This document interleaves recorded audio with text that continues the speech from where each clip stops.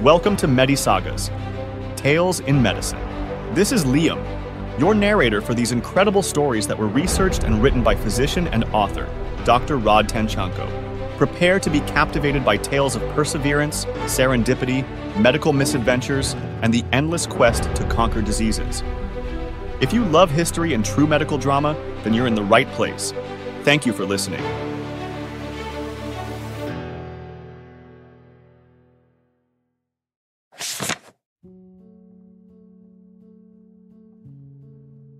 A lump in the breast.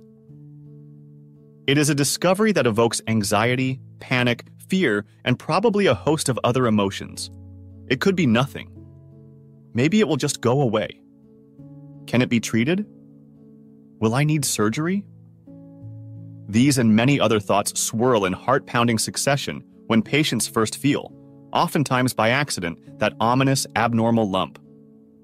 Perhaps Abigail Adams Smith experienced the very same emotions and thoughts when she first felt a lump in her breast. Her family called her Nabby, and she was the 46 year old daughter of John Adams, the second president of the United States. The year was 1810, and she was living with her husband, Colonel William Stephens Smith, in the recently established and mostly wilderness central New York town of Lebanon. Her parents, John and Abigail Adams, lived 300 miles away in Quincy, Massachusetts. As presidential families go, the Adams were probably one of the most copiously documented. The massive amount of correspondence written and received by John and Abigail Adams to and from family, friends, allies, politicians, and other prominent figures of the day has filled volumes of books. John Adams, by this time, had been out of official politics, his term as president having ended 10 years prior, following his defeat to Thomas Jefferson. He and Abigail had been spending their retirement in the Quincy farm and continued to correspond with political allies and friends.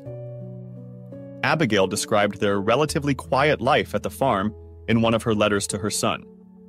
You will find your father in the fields, attending to his haymakers, and your mother busily occupied in the domestic concerns of her family. In 1810, Abigail was already 66 years old, and John was 75. They were not in the greatest of health, as could be expected for older folks in the early 19th century. Abigail complained of intermittent fevers, aches, and pains. And John was bothered by arthritis, poor eyesight, tremors, and loss of teeth, making it difficult to understand his speech. Both suffered from a rather common ailment called rheumatism, which pretty much covered all the aches, pains, stiffness, and other general symptoms that the elderly were prone to experience. But they remained mentally sharp and very much attuned to what was happening in their young country. And there was quite a lot going on between 1800 and 1810. The population had grown to seven and a quarter million citizens, a rise of 25% in 10 years. The U.S. had doubled in land size after Louisiana was purchased from France in 1803 when Thomas Jefferson was president. Exploration and expansion followed as Lewis and Clark ventured to the west in their two year Corps of Discovery expedition. The nation's capital was now situated along the Potomac River, in a small village called Washington. The area was described as swampy, as in literally swampy, with unpaved dirt roads and very few amenities. The Capitol building was still under construction and did not have its famous dome yet. The White House, or Executive Mansion, as it was then called, was also under construction. Most Americans lived outside the few cities that existed. Most of them depended on farming or activities tied to agriculture for their livelihood. And that takes us back to Lebanon, New York, where our main character, Nabby Adams Smith, was living with her husband, Colonel William Stephens Smith. They moved there in 1807, and William had taken up farming after he engaged in a series of disastrous investments and career missteps. William was supposed to be bound for a very promising career. After a distinguished service in the Continental Army and working directly under Washington, he then served as secretary to the American legation in England.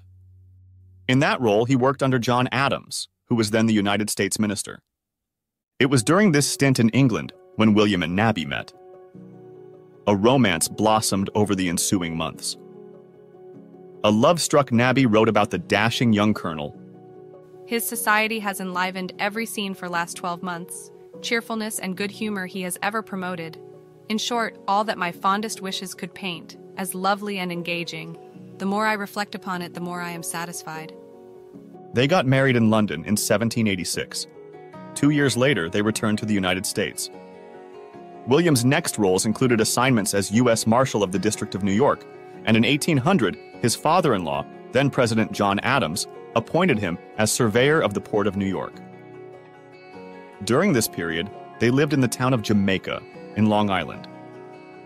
The couple would be blessed with four children, and William's endeavors obliged him to travel back and forth between New York and London. Unfortunately, he was not quite as astute a businessman nor politician as he had hoped to be. His failed investments in land and shipping ventures eventually drove him to financial ruin. An ill fated affiliation with a Venezuelan revolutionary, whom he attempted to support, only led to his being fired by President Jefferson. And so in 1807, William and Nabby settled in Lebanon, New York, where William tried his hand at farming and worked to salvage his finances, career, and reputation. William's financial miscalculations, his long absences during which he did not write regularly to Nabby, and the embarrassment he caused the Adams weighed heavily on their marriage. Nabby's mother, Abigail Adams, was worried about her daughter. In a letter Abigail to her sister, she wrote, I had a letter on Saturday from Mrs. Smith. The colonel returned last week and has notified his creditors to meet him in order to adjust with them his affairs. I cannot suppose that he has it in his power to satisfy the demands they have. But if he can settle so as to be able to do any business in future, it will a great relief to my mind as well as to hers. In her letters, Abigail referred to Nabby as Mrs. Smith and William as the Colonel. She went on, It really seemed to me at times as if Mrs. Smith would lose herself. She has sometimes written to me that existence was a burden to her. I have been more distressed for her than I have been ready to own. You know she always kept everything to herself that she could. And in that snippet, we see a glimpse of what Nabby was like. She was known to be reserved, pensive, pragmatic, and preferred to endure difficulties quietly. Certainly not a rabble rouser or the rebel type. When she was 19, she wrote in her journal Saturday, 27th. Mama desired me to be dressed. She was going out to make some visits. I obeyed. I seldom resist commands, however, my will may be for it. We can only assume what she must have thought when she first felt that lump in her breast. Surely the worst scenario came to mind. People were well aware of cancer and what it meant. If she felt a sense of panic, she probably made a point of not showing it. Maybe she kept it to herself for a little while. If she went through a period of denial, that would have been a perfectly normal reaction. It's conceivable that the need for surgery crossed her mind. And if it did, there were many reasons to be fearful. This was the early 19th century. There were no anesthetics, no antibiotics, no antiseptics, no fancy hospitals. There were certainly not a lot of trained surgeons, and people relied on town healers herbalists, or themselves for medical treatments.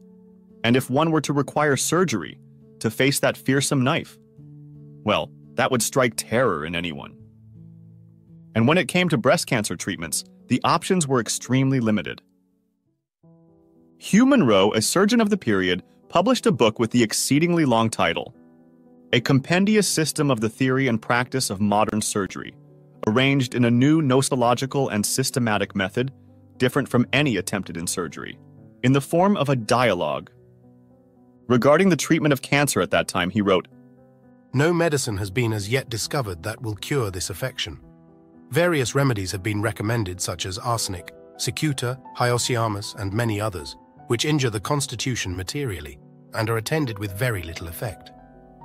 He was talking about herbal remedies like water hemlock and henbane, which are very toxic. In fact, water hemlock is listed as one of the most poisonous plants in North America. Nonetheless, they were used medicinally for pain relief, sedation, and treatment for other symptoms. Of course, none of them can cure cancer. The only method of cure is to remove the diseased parts completely by the knife. The author qualified this further by saying that surgery be performed. especially if the disease has not already made considerable progress, and if one part of the body only is affected. Removing a portion of the diseased parts seems to do an essential injury, as experience has discovered. No operation, therefore, for the removal of serous tumors is to be attempted, except when the whole of the diseased parts can be removed. It's clear that medical knowledge at the time recognized how critical it was to remove all the cancerous growths to give patients the best hope for a cure. The doctors also had some concept of metastatic disease. In the same book, the author advises that for breast cancer specifically, the surgeon must pay attention to the lymph glands in the neck and armpit areas, which may also be involved. By removing the diseased parts, by an operation, a cure is sometimes obtained. The state of the glands above the clavicle and those of the neck and axilla are to be particularly attended to.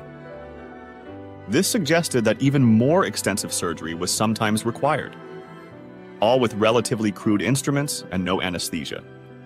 As you can imagine, the complication rates from bleeding, infections, pain, and disfigurement must have been very high. And there was really no reliable way to tell how widespread or advanced the cancer was, so one can only guess how many surgeries were destined to fail. Going back to Nabby, she consulted with a local doctor, and indeed she was advised to try the hemlock treatments. She used a paste to apply to her breast, as well as a pill. Unfortunately, the lump steadily enlarged. In the early months of 1811, she wrote and told her mother, Abigail, who mentioned Nabby's apprehensions in a letter to Louisa Adams, her daughter in law. My anxiety is great for my dear and only daughter. She is apprehensive of a cancer in her breast. I have besought her to come on to Boston and take advice, and I have consulted Dr. Welch and Holbrook. They have advised as well as they could without seeing her, but wish her to come here. I cannot yet prevail upon her. She thinks that she cannot leave home without the colonel and that he cannot come. But the real truth is, I believe, she thinks the physicians would urge the knife, which she says the very thought of would be death to her. Abigail continued to press Nabby to come to Quincy and be seen by doctors in Boston. Nabby did relent and made the 300 mile trip in oppressive summer heat to Quincy. She arrived there with her daughter in late June 1811. Her husband William was not with her. It was the first time Nabby had seen her parents in three and a half years. Abigail couldn't be happier to see her daughter and granddaughter. I need not say how much rejoiced we were to meet after a separation of three years and a half. Mrs. Smith has gone to town today to consult Dr. Welch respecting her complaint, which has not yet appeared to injure her health, although the appearance is alarming. The doctor's opinion was more encouraging than they had anticipated, and Abigail relayed the news to William. His opinion is that no outward application should be made and that Mrs. Smith's general state of health is so good as not to threaten any present danger. He does not pronounce it to be of the nature we feared. He advises to the use of the hemlock pills. By August, more doctors had examined Nabby. In addition to Dr. Welch, she was seen by Dr. Tufts, Dr. Warren, and Dr. Holbrook, their family physician. While Dr. Tuft seemed to express some uncertainty, the consensus was to leave the tumor alone. Abigail wrote to William in late August. Dr. Tufts alone varies in some measure from them. He is at a loss as to its nature, but the result is by no means to do anything to worry or irritate the part. Would it not be best, having advised with surgeons and physicians, to follow their advice? Nabby was without a doubt much relieved at being spared from surgery. She planned to return to her home in New York in October. Sometime during her stay in Quincy, Nabby also reached out and wrote to a dear family friend, Dr. Benjamin Rush, for his advice. At the time, Rush was already an iconic figure. He was the only person with a medical degree to sign the Declaration of Independence. His actions during yellow fever epidemics, although controversial, were also considered heroic. And during his long career, he rose to be one of the most renowned physicians in the United States. Rush was very concerned about Nabby's tumor, and unlike the other physicians, recommended an aggressive approach. He responded through a letter dated September 1811 to Nabby's father, John Adams. I shall begin my letter by replying to your daughters. I prefer giving my opinion and advice in her case in this way. You and Mrs. Adams may communicate it gradually and in such a manner as will be least apt to distress and alarm her. After the experience of more than 50 years in cases similar to hers, I must protest against all local applications and internal medicines for her relief. They now and then cure, but in 19 cases out of 20 in tumors in the breast, they do harm or suspend the disease until it passes beyond that time in which the only radical remedy is ineffectual. This remedy is the knife. From her account of the moving state of the tumor, it is now in a proper situation for the operation. In other words, since the tumor was still movable and not fixed, it may still be localized and had not spread. Should she wait till it suppurates or even inflames much, it may be too late. And then, recognizing Nabby's great fear of undergoing surgery, Rush offered some reassurances. The pain of the operation is much less than her fears represent it to be. I write this from experience having about two years ago had a tumor of perhaps a larger size cut out by Dr. Physick from my neck. I was surprised when the doctor's assistant told me the operation was finished. I repeat again, let there be no delay in flying to the knife. I sincerely sympathize with her and with you and your dear Mrs. Adams in this family affliction, but it will be but for a few minutes if she submits to have it extirpated, and if not, it will probably be a source of distress and pain to you all for years to come. It shocks me to think of the consequences of procrastination in her case. He couldn't have been more emphatic. Abigail and John trusted their friend and urged Nabby to follow Dr. Rush's advice. In mid October, Abigail wrote to Rush with a grateful heart, I address you to thank you for the earnest and decision with which you gave your opinion respecting the case of my dear daughter. She had consulted several physicians here, all of whom agreed on saying that if the tumor became discolored or inflamed, she must apply for surgical aid. With this opinion, she was preparing to return home. Your letter arrived, which instantly determined me to prevail with her if possible to submit to an operation. When William heard of this, he protested. Understandably, in a state of denial, he did not want Nabby to go through the dreaded surgery. It probably took some more effort on the part of Nabby's family to convince her as well, but in the end, Nabby and William agreed for her to undergo the surgery. Instead of heading home to New York, she had the operation performed on October 8, 1811, at the Adams home in Quincy.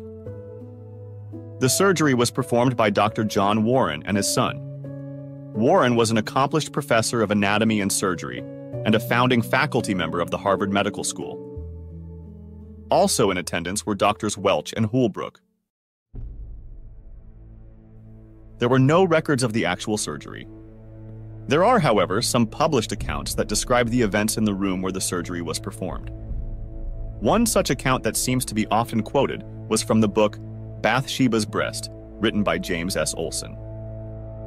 With a good amount of detail, Olson described the surgical instruments and the events starting from Nabby's entering the room, quote, as if dressed for a Sunday service, unquote, to her being strapped to a chair, and all the way to the final suturing and bandaging. What is often not quoted are Olson's sort of disclaimer when he wrote, quote, exact details of the operation are not available, but it was certainly typical of early 19th century surgery, unquote. And in the notes section of his book, he further clarifies that he used two sources to discuss Nabby's illness, and that, quote, the reader should also note that for narrative purposes, in describing the operation, I have generalized beyond the source itself, adding details about early 19th century mastectomies that were once common to most surgeries, but not necessarily to Nabby's, unquote. He italicized not. We do know from one of Abigail's letters that Nabby's whole breast was removed, we also know from John Adams' letter to Rush that the operation lasted 25 minutes, but dressing the wound took an hour. John gave this account to Rush. The surgeons all agree that in no instance did they ever witness a patient of more intrepidity than she exhibited through the whole transaction. They all agree that the probability of complete and ultimate success is as great as in any instance that has fallen under their experience. Now, as a side note, if you are interested in an actual first person account of a woman undergoing a mastectomy during this period, then consider checking the podcast notes for the reference for the letter written in 1812 by novelist Fanny Burney. But be warned, it is quite graphic. We can only imagine the torment that Nabby and any patient undergoing major surgery during that period went through. A few weeks later, in late October, William arrived in Quincy. By then, Nabby seemed to be recuperating well. Abigail, again, Colonel Smith arrived here upon Sunday morning and was relieved to find Mrs. Smith had gone through the dreaded operation and to find her also so well. The wound has closed and healed. Her arm she is forbidden to use, keeps it in a sling. She is weak, but not more so than might be expected. By November, Nabby felt well enough and confident enough to go out and ride, only to realize that she had overexerted herself and ended up feeling unwell. A month later, it is now December 1811, her wound had completely healed, but she was still unable to use her arm. Everyone remained optimistic that she would make a full recovery. She cannot bear the motion of a carriage nor write a line herself, but we are encouraged to hope for a perfect restoration from time. Nabby would not be fit enough to travel back to their home in Lebanon for several more months and well into the following year, 1812. There were some good news that year. William had managed to repair his name and was elected to the U.S. House of Representatives. This achievement would require him to be in Congress and away from home for considerable amounts of time.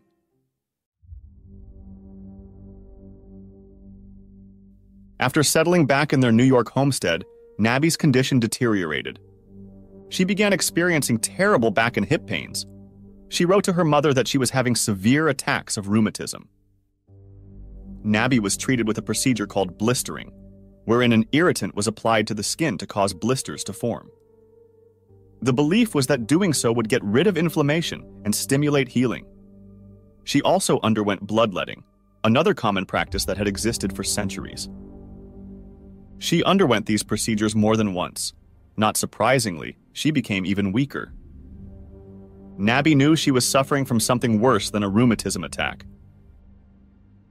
she noticed a tumor on her other breast. A local physician examined her and gave the grave prognosis. There was nothing that could be done. The cancer had spread. Nabby kept this to herself, trying to spare her family of more distress. Abigail found out in May 1813 after receiving a letter from a relative who knew of Nabby's worsening condition. Abigail wanted to travel to her daughter, but her own physical ailments prevented it. Nabby resolved to make the impossible journey to her parents' home. Traveling during the summer, in pain, in a carriage trudging over 300 miles of early 19th century roads, it took 15 days to reach Quincy.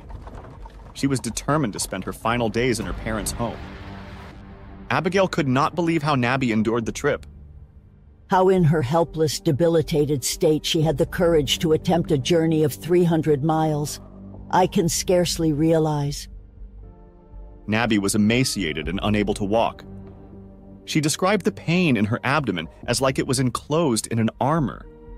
She was again evaluated by doctors, but their conclusions were the same. Abigail was despondent. I had flattered myself that her disorder was rheumatic affection, but that hope is extinct. Opiates were the only thing that afforded some temporarily relief.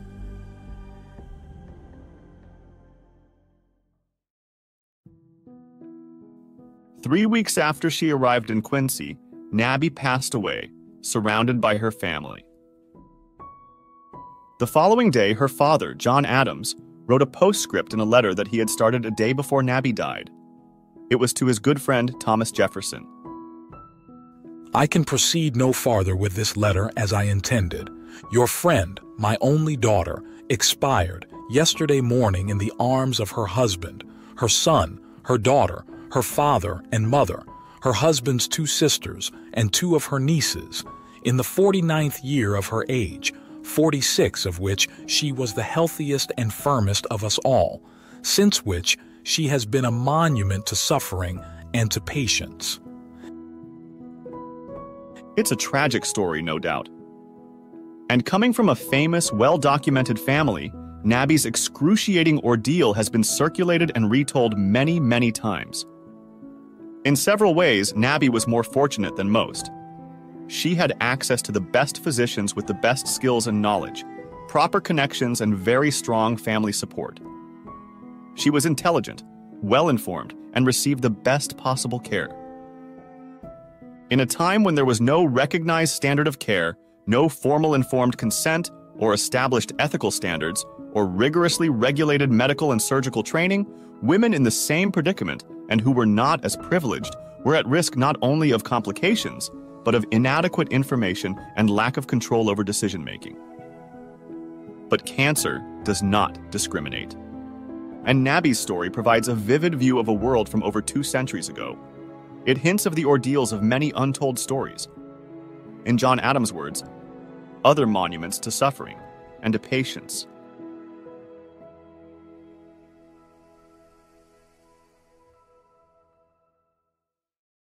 That concludes this week's episode of Medisagas.